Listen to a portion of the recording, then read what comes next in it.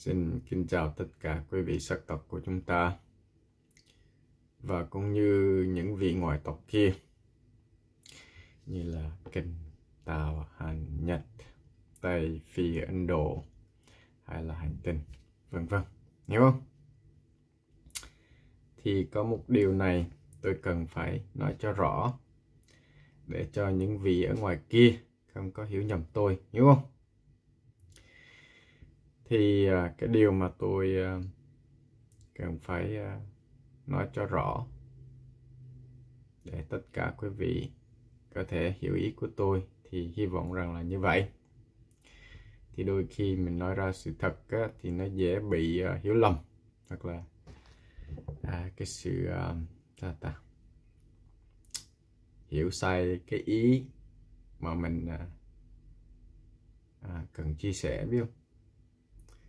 Và đó là lý do tại sao tôi cần phải nêu ra cái điều này.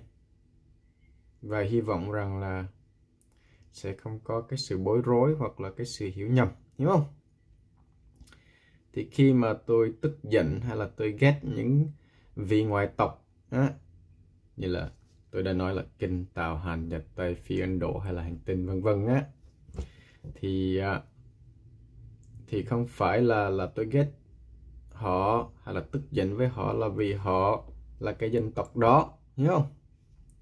Tôi không ghét họ là vì họ là dân tộc kinh hay tàu hay tây hay hàn hay nhật hay phi hay ấn độ hay là này kia. Tôi không có ghét họ vì cái lý do đó, hiểu không? Hay là vì cái lý do, cái danh tính của bọn họ, biết không? Cái điều mà tôi ghét và tôi cực kỳ vô cùng tức giận với bọn họ thì nó nằm ở chỗ này là vì cái sự ngu ngốc bệnh hoàn điên khùng xấu xa độc ác tàn nhẫn ma quỷ đĩ điếm mất dạy bố láo vô ơn vô nghĩa và vô đạo đức. Hiểu không? Hoặc là nói một cách khác á, um, vô văn minh vô luật lệ vô đạo đức à, và vô học thức. Thì tóm tắt lại á, là cái sự tội lỗi của bọn họ hiểu không? Tôi ghét là cái điều á, là cái cái hành động đó của bọn họ, biết không? Là cả đặt là những cái hành động đĩ điếm mất dạy bố láo vô ơn vô nghĩa và vô đạo đức, hiểu không? Thì như tôi đã nêu ra. Và đó là lý do tại sao tôi tức và tôi đã ghét bọn họ, là vì cái điều đó, biết không? Cho nên quý vị ở ngoài kia, đặc biệt là những vị sắc tộc của chúng ta đừng có hiểu sai ý của tôi đúng không? Tôi không ghét uh, những vị ngoại tộc mà không có làm gì sai với chúng ta hết á. Những cái bọn mà tôi tức giận hoặc là tôi ghét đến là vì tôi đã hiểu cái sự thật.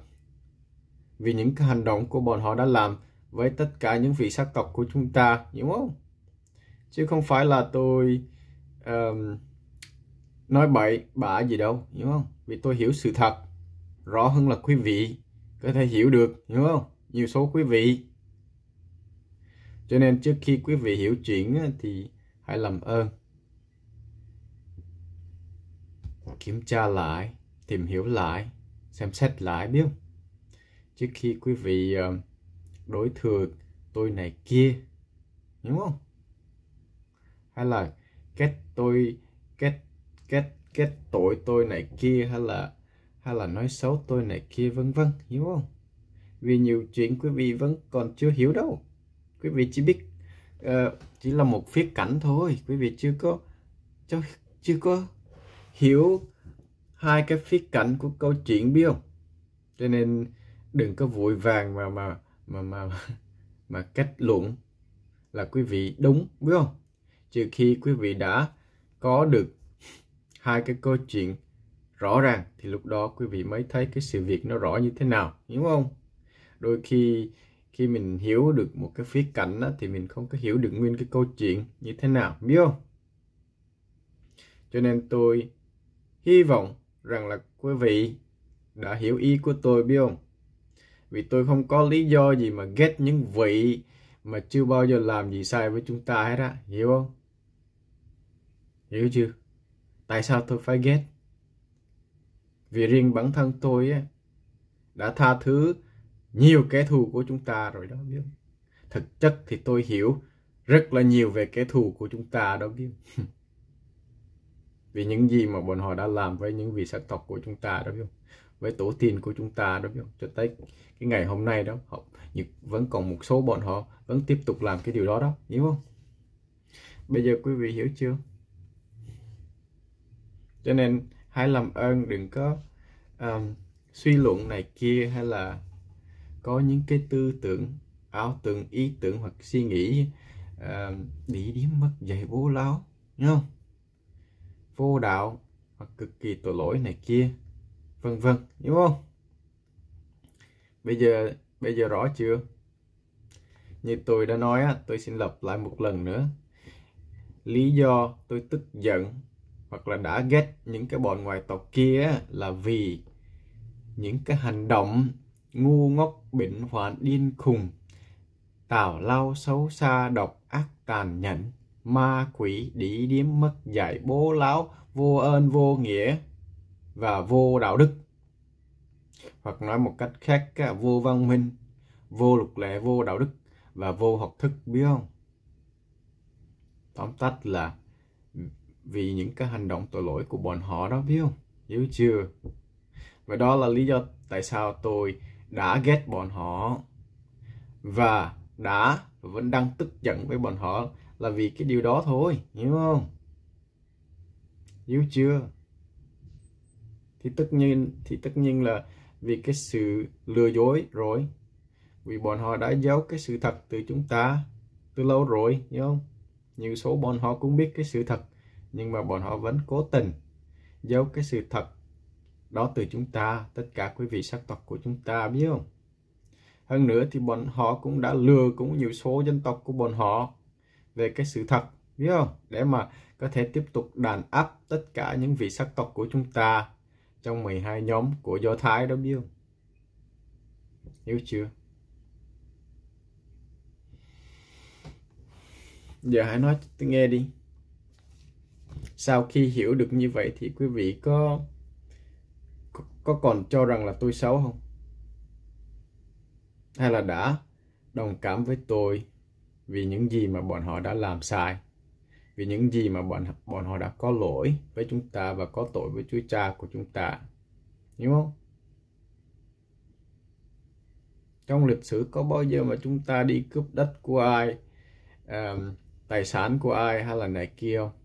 Có cũng có. Chỉ là những vị uh, ngoại quốc hay là những cái bọn ngoại tộc kia uh, chiếm đất nước của chúng ta tài sản của chúng ta phụ nữ của chúng ta này kia vân vân. Hiểu không? Những gì là của chúng ta.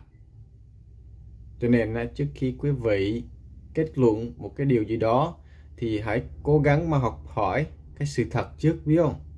Vì nhiều số quý vị vẫn chưa biết cái gì về sự thật hết á hiểu không? Hoặc là cái lịch sử của chúng ta ấy đó hiểu không?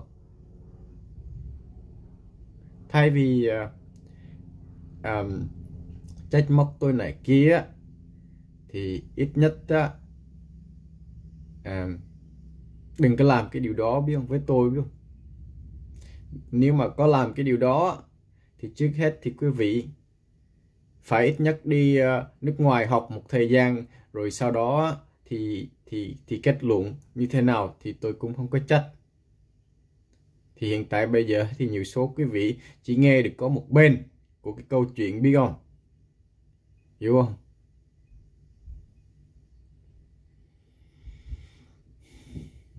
Tại nhiều số quý vị vẫn còn vô ý thức thôi. Vì những cái tội lỗi của bọn ngoại tộc kia nó nhiều lắm. Vì những gì mà bọn họ đã làm với tổ tiên của chúng ta và cho tới khi cái ngày hôm nay kìa.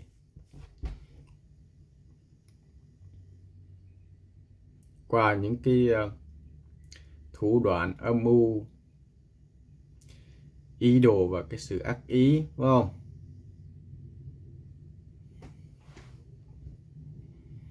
Qua cái cái tâm lý học, biết không? Pháp thuật, công nghệ, khoa học, này kia, vân vân, hiểu không? Nhiều cái thủ đoạn lắm mà bọn họ đã dùng. Nhiều hình thức mà bọn họ đã thực hiện, hiểu không? Mà nhiều số quý vị đã vô ý thức và và vẫn còn vô ý thức đúng không? Nhiều số quý vị về cái điều đó biết không? Và đó là lý do tại sao tôi đã soi cái ánh sáng để mà quý vị có thể nhận, có thể hiểu hoặc nhận ra được cái điều đó biết không? Để mà sau này đừng cho phép bọn họ lập lại những cái sự ma quỷ đó với chúng ta, biết không? Vì còn không á, những bọn này sẽ tiếp tục làm cái điều đó đó, biết không? Vì đó là cái bản chất của bọn họ, biết không? Nếu mà quý vị không nêu ra nó thì bọn họ sẽ cứ tiếp tục cho rằng cái điều đó là đúng đắn, là bình thường đó, biết không? Quý vị phải cho họ biết cái biên giới cái đó sai. Không? Không nên làm. Cho nên tuyệt đối đừng có làm, biết không? Đừng có lập lại, biết không? Nếu mà quý vị không nói như vậy á, không cho họ biết rõ cái điều đó thì họ sẽ tiếp tục, vẫn tiếp tục vi phạm những cái lỗi và những cái tội đó, biết không? Vì đó là cái bản chất của những vị bọn ngoại tộc kia, hiểu không? Vì nhiều số bọn họ không có giống như chúng ta. Vì chúng ta sống theo cái luật lệ, theo cái sự văn minh, ý thức phải không? Là cái sự học thức, biết không? Có đạo đức, biết không? Và đó là cái sự khác biệt giữa chúng ta và những cái bọn ngoại tộc kia. Thì chúng ta có cái sự văn minh có cái đạo đức, có cái luật lệ và có học thức, hiểu không? Và đó là cái sự khác biệt rõ ràng giữa chúng ta và họ, biết không? Vì chúng ta có cái đạo lý của Chúa Cha không? Cái luật lệ, cái tiêu chuẩn, cái trình độ hoặc là cái bằng cấp của ngài trong sách kinh thánh của chúng ta, hiểu không?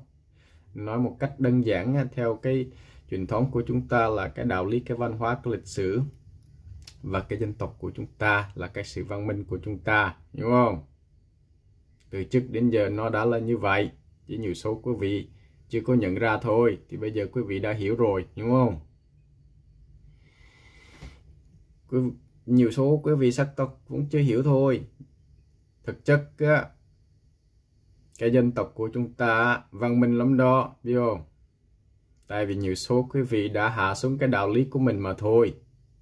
Vì tôi hiểu cái điều này rất rõ là vì sao. Vì tôi còn nhớ, trong hai chục năm về trước, quý vị không có như thế này, hiểu không? Cho dù này kia nhưng mà không có đến nỗi tồi tệ như bây giờ, hiểu không? Cái mức độ như bây giờ, quý vị đã hạ xuống cái đạo lý của mình, nó nó nó nó thấp hơn, nó tồi tệ hơn bọn họ không thể nào tưởng tượng được hiểu không? Còn thì tất nhiên những vị mà mà mà mà mà hiểu hiểu chuyện tôi đang nói họ đều biết cái điều này hết á. Tại vì họ không có mở miệng thôi hiểu không? Chứ không phải là họ không biết hay không thấy hay không nghe hay này kia đâu hiểu không? Bây giờ sao? Bây giờ đã hiểu nguyên cái câu chuyện là như thế nào chưa? À, quý vị? Thì tôi xin kết thúc á.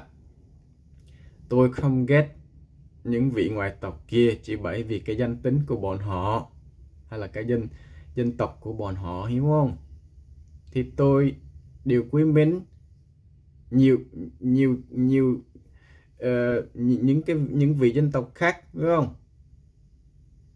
Thì nếu mà họ đã trở thành kẻ thù của chúng ta thì tất nhiên chúng tất nhiên tôi phải tôi phải ghét tôi phải tức giận với họ rồi vì bọn họ đã làm sai mà, biết không? Trước mà, chúng ta đâu có làm sai với bọn họ trước đầu hiểu không? Thì tất nhiên, tôi tôi tôi tức giận, tôi ghét là là cái sự hợp lý thôi, cái sự đúng đắn thôi, biết không? Là vì bọn họ đã sai với chúng ta trước, chứ không phải là chúng ta sai với bọn họ trước, hiểu không?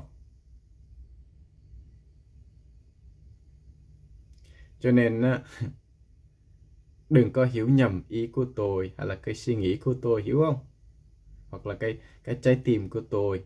Thực chất á, tôi là một vị đàn ông rất là tốt. Trong thực tế biết không? Cho dù nhiều số vị bọn ngoại tộc đã từng làm rất là nhiều chuyện sai với tôi biết không? Nhưng mà tôi cũng vẫn bỏ qua cho họ. Chưa có bao giờ hận thù họ hay là trả thù họ này kia biết không? Thì tất nhiên tôi cũng có thể làm được cái điều đó nhưng mà tôi đã quyết định tha thứ cho họ, bỏ qua cho họ. Nhưng đâu có nghĩa là tôi sẽ cho bọn họ lập lại cái lịch sử đó, hiểu không? Đâu có nghĩa là tôi sẽ cho phép bọn họ tiếp tục làm cái điều đó trong tương lai, hiểu không? Rõ chưa?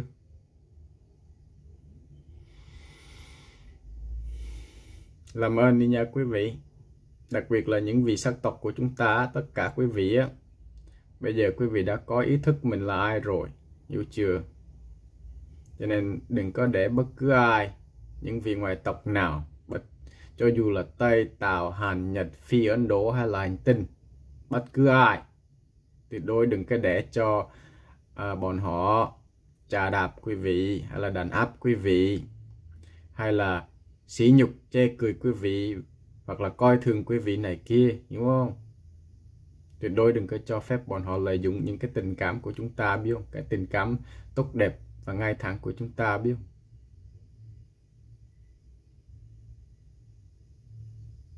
Hãy cư xử với bọn họ, những cái bọn ngoại tộc, theo cái luật dân sự, biết không? Còn với những vị sắc tộc của chúng ta, theo cái luật của đạo lý, là trong sách kinh thánh của chúng ta, biết không? Và và nếu mà mà những vị ngoại tộc mà quý vị thân thiện á, thì lúc đó quý vị cư xử với họ theo cái đạo lý từ trong sách kinh thánh của chúng ta. Thì quý vị thân thiện với họ. Còn những vị mà quý vị không có biết rõ này kia, không đáng tin cậy á, thì cư xử với họ theo cái luật dân sự, biết không? Để rồi những cái bọn ngoại tộc kia sẽ không có cho rằng là quý vị ngu ngốc, biết không? Nhát gan hay là này kia, biết không? Cho nên quý vị phải hiểu cần phải hiểu cái luật dân sự hiểu không? Như tôi đã nói á cái luật dân sự á, chỉ là hành vi với bọn họ theo đúng cái pháp lý hiểu không? Chuyên nghiệp một cách khác nói là chuyên nghiệp đó biết nghĩa là không có cái sự thân thiện với bọn họ đó biết chỉ là thi hành cái nghĩa vụ của mình cho đúng trong công việc của mình hay là này kia. Trong xã hội, hiểu không? Chỉ như vậy thôi. Hiểu chưa? Bây giờ tôi đã làm rõ mọi chuyện chưa? Vậy nên tôi xin kết thúc là như vậy.